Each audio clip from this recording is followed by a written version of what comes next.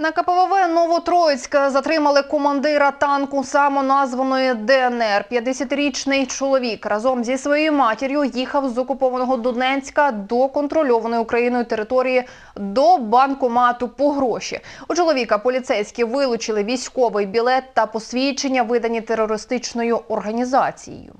До танкового підрозділу чоловік вступив за порадою свого товариша е, під час короткострокових е, навчань. Е, Після закінчення короткострокових навчань він відразу почав керувати танком Т-64 е, та спрямовував вогонь на українських військових та надавав силову допомогу піхоті.